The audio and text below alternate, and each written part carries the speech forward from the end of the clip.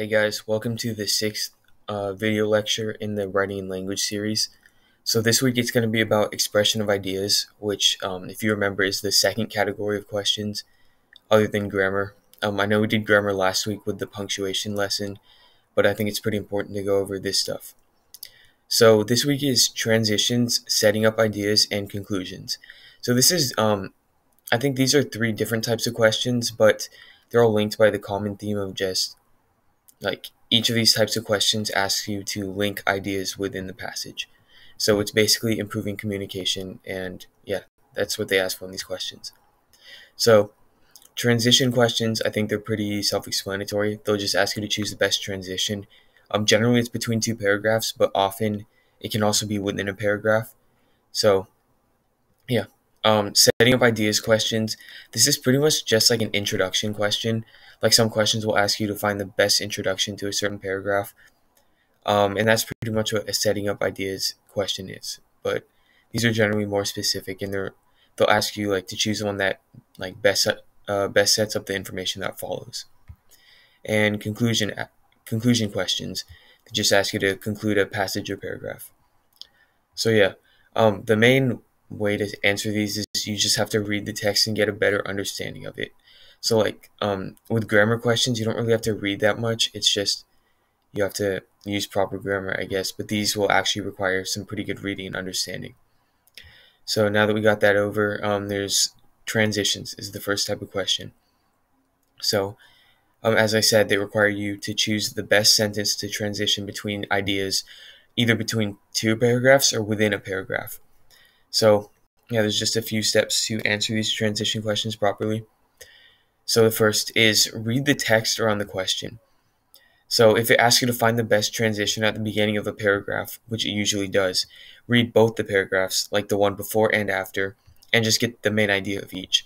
Um, usually the best answer is the one that is, is like most related to those two main ideas. Um, generally with transition questions and just all these um, expressions of ideas questions in general like the incorrect answers you can tell because they're just like not really completely related. But yeah these are pretty tricky sometimes. So next step is to um, compare the text before and after the sentence. So does the um, information that follows the transition does it support um, the previous information? Does it contradict the previous information? Or does it answer a question posed in the previous information so the last step is based on the relationship between the parts before and after the question. You should have a pretty good idea of the content of the transition sentence, or like um, what purpose it's supposed to accomplish. So if the information after after the transition supports the information before, the transition should restate the point made in both parts. Um, if it contradicts, then the transition should also provide a contradiction. And if the information after the transition answers a certain question, um, how the answer was obtained is usually stated in the transition. So if you just practice, you'll see some of these types of questions. Just got to get used to it. So here's my example question. Um, so right off, I'm just going to notice, or I'm going to take note of where the transition is. So it's right in the middle.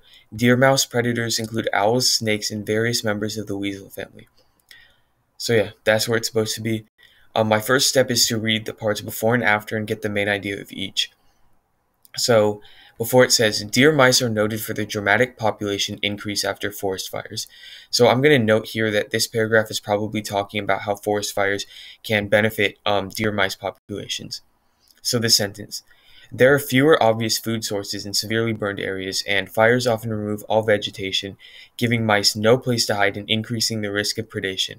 So this seems a little weird. Less food sources, easier to be hunted by predators that does not relate to the um, main point that forest fires lead to a deer mice increase. If you read this, you might think that forest fires completely destroy the deer mice population, but um, we'll read the part after. So the part before, the main idea is deer mice are benefited by forest fires, but it doesn't explain how. Um, forest fires will actually allow them to be hunted easier and have more difficulty finding food. So afterwards, um, these two sentences this one talks about how mice can actually access more food than before. And this last sentence talks about how, um, yeah, how lack of vegetation gives no place to uh, for the mice to hide and makes them easier to hunt, as it says here. Um, predators are also harmed by the fire, so there's a decrease in predators, which can help the deer mice population increase. So it seems like before it talks about how deer mice are harmed, but after it talks about how deer mice are benefited. So since we can see that there should be some sort of contradiction, we'll look at that in the answer. So first of all, we'll just look at A, no change. Deer mouse predators include owls, snakes, and various members of the weasel family. Um, that's all right. You know, it just talks about the predators because it does talk about how like deer mice can be easily hunted, but that's not a good transition. So I don't think that's correct. We'll just look for the one that provides a transition between the ideas that the deer mice are harmed and the idea that deer mice are benefited by forest fires. So um, D is the best one. It says, but despite these apparent disadvantages, which refers to this stuff before, it's actually possible that fires improve conditions for deer mice, which is a good transition to the next couple sentences because it introduces the idea that fires can help them. So that's the correct answer. Our next type of question is setting up ideas. So these are pretty much like introduction questions. They'll just ask you to choose the best sentence or phrase to set up examples that follow. So often it'll be like at the beginning of a paragraph, and it'll just like set up the information in the paragraph. Sometimes it'll be within or in front of a list of stuff. So it, they're different, but there's just a few steps you need to follow, and they're pretty similar for all types of questions. So yeah, you read the information that follows the question, like where the setting up ideas question is in the text, and like yeah, just note its relationship to the message of the passage as a whole or the main idea presented before.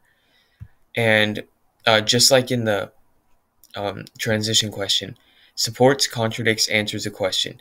Use the relationship between idea after the after the question and before to kind of help you uh, make that informed decision. So yeah, the correct choice should match the content of the following ideas. So if a list of example follows, the answer will introduce that list. And if a comparison follows, the answer will discuss like the part of the comparison that's before. So we'll look at this example question. This movement called the Great Migration would transform urban America and recast the social and political order of the country as a whole.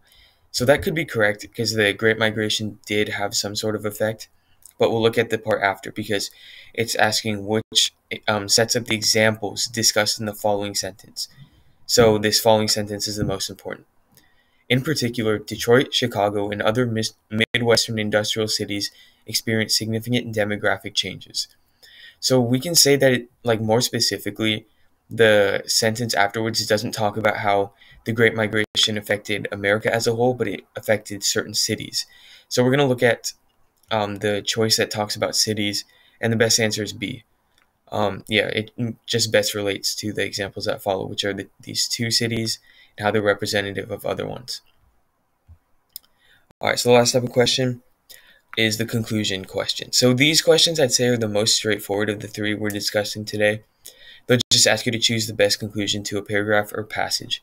So yeah, the correct answer is the one that is most related to the main point of the passage and just brings everything together from the previous text. So here are the steps to answering these questions. You determine the main point of the passage or the paragraph that you are concluding with this certain conclusion. Um, yeah, it's also worth noting the various points that that were already made that support the central theme, as like the conclusion can sometimes contain these.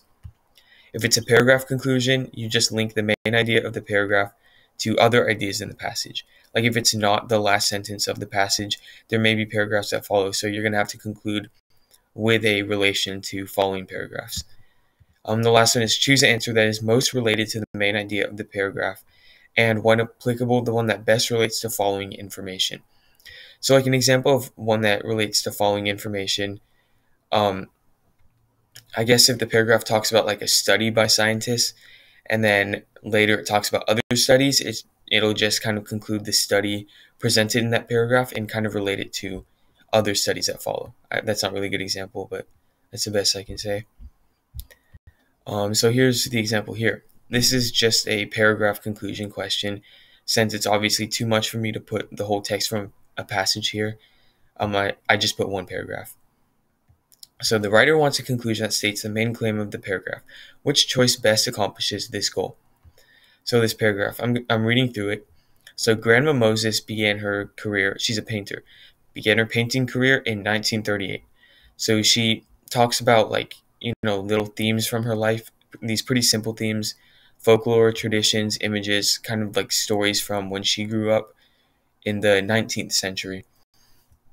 So here it says, these quaint themes might seem at odds with the taste of a sophisticated 20th century audience, but Moses' renew- renewal of 19th century themes gained popularity with an American public that was struggling to cope with World War II era social and uh, geopolitical challenges. So this before it talks about um, Grandma Moses, who she is, uh, her simple themes, and the third point is like how you know people at the time kind of wanted something simpler, and her work kind of gained popularity. So that should be reflected in the conclusion. And um, if you just go through all these, one that best matches it is C. So yeah, that's pretty much it. Um, all these questions are kind of different, but you follow actually pretty similar steps. Um, I added, yeah, my explanation here, and then we have, I think, four additional practice questions. So yeah, thanks for watching.